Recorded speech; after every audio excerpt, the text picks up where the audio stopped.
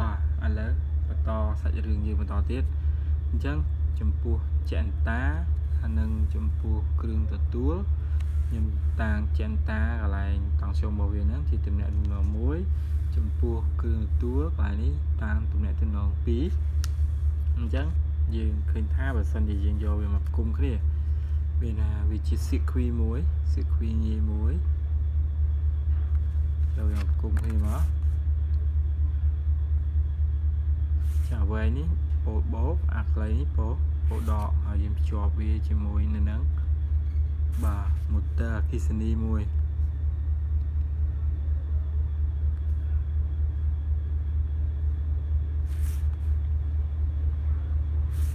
បាទភ្ជាប់វាជាមួយនឹង motor អគ្គិសនីមួយជាចរន្តអគ្គិសនីឆ្លងកាត់គឺ E ចុងសងខាងនេះតាំង AB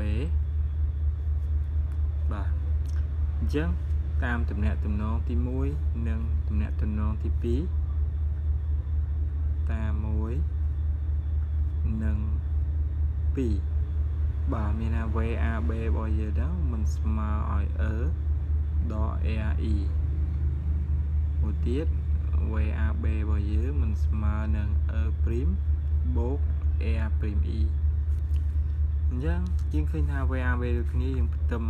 អង្គទាំងពីរនឹងស្មើគ្នាយើងបានបាទគឺ E ដក RE ស្មើនឹង E' បូក RE RE បន្តមកទៀតបាទបន្តមកទៀតយើងបោះអាណាមាន E ទៅម្ខាងណាអត់ E ទៅម្ខាងអញ្ចឹង E នេះអត់មាន E ទេហើយ E' នេះអត់មាន E ដែរអញ្ចឹងខ្ញុំបោះ E' នេះមកអង្គទីអង្គទី1អញ្ចឹង E នេះនៅដដែល តួឯកនៅដែរដល់នេះយើងបោះវាមកអង្គទី1សញ្ញាវាបូកមានអត់សញ្ញាមានវិជ្ជមានឬបូកបោះមកវាដកបានអឺព្រីមអញ្ចឹងស្មើដល់ r ព្រីម e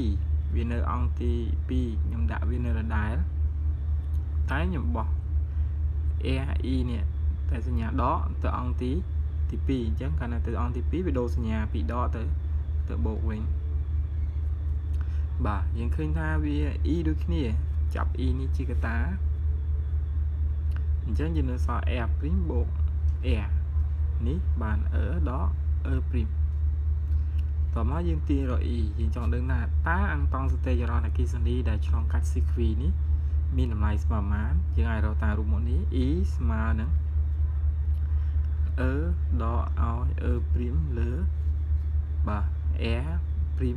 បូក r បាទអញ្ចឹងតំណែងនេះតែរូបមុននេះយើងមិនមែនប្រើឲ្យតែកណនីរកអង្គតង់ទេចរន្តឆ្លងកាត់ស៊ីគ្វីយើងយកមកប្រើទេយើងមើលតាមរូបនៃស៊ីគ្វីតើគេឲ្យយើងមានអីខ្លះបាទអានេះគ្រាន់តែជារូបមុនគោលតែប៉ុណ្ណោះនៃការទាញបាទប៉ុណ្ណឹង